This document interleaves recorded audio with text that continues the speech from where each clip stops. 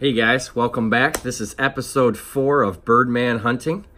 Um, this week we're going to look at some more dog work like we do every week. And then uh, we're going to come back and we're going to talk about our ongoing dog box project. I know it's uh, kind of might get annoying talking about this dog box every single week, but there is updates to it. I'm always adding new things, so I'm pretty excited about it. So I'm going to show you the add-ons I did to my dog box. So uh, let's go check out some dog work and uh, I'll meet you back here. Hey guys, welcome back. This is episode four of Birdman Hunting. Um, this week we're going to look at some more dog work like we do every week. And then uh, we're going to come back and we're going to talk about our ongoing dog box project. I know it's uh, kind of might get annoying talking about this dog box every single week, but there is updates to it. I'm always adding new things, so I'm pretty excited about it. So I'm going to show you the add-ons I did to my dog box. So uh, let's go check out some dog work and uh, I'll meet you back here.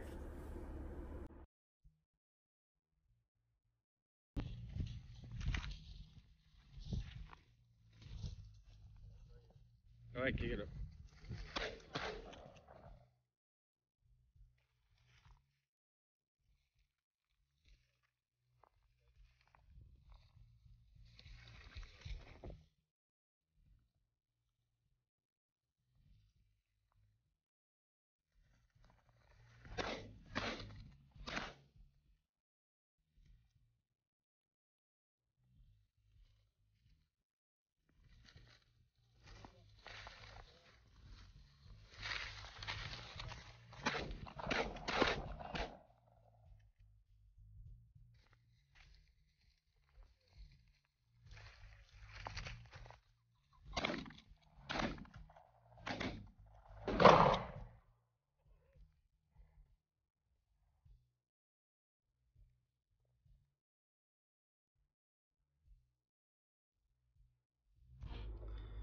Hey guys, welcome back.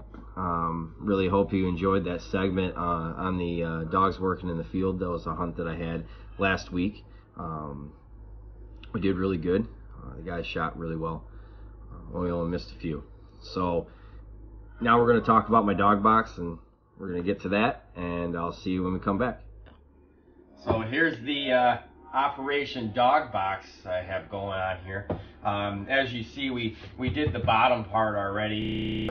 on there, that was just some stickers I had. I thought was pretty cool. If you if you come in closer here, open up the door, look inside.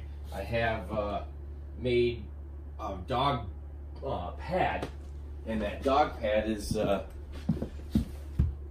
it's just a dog pad, foam wrapped up in a cloth and uh, scratch resistance. So I put that in there. We got the top now. So I built this top. Got a little knob here, latch, open it up, take a look up down in there. Yeah, pretty fancy. I know. So I put all my gear in there, and then uh, how I went ahead and connected this box was with these. If you can bring it in a little bit more here. I uh, had these clamps, these hooks, and I just uh, put two eyes and a hook. And I just tighten them or loosen them to take them off. So if I go ahead and loosen it, it just comes off like this. And then I got handles and it just pops off. Now, uh, I put some rubber coating at on the uh, top of the box to protect the um, box from being scratched. So when I put this, load this up, we'll keep that all nice. So just when you're ready, you just go ahead and tighten that up. It would probably help if I went the right way.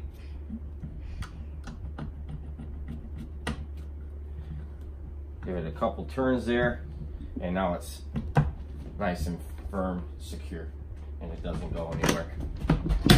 See, it's pretty solid.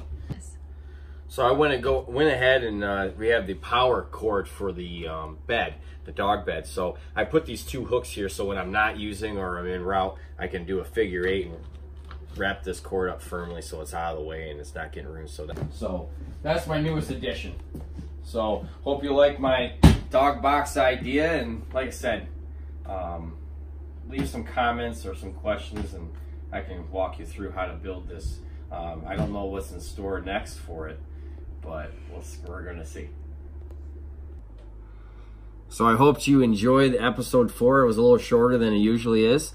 Um, but uh, leave some comments and questions on maybe, or some suggestions on what you might want to talk about.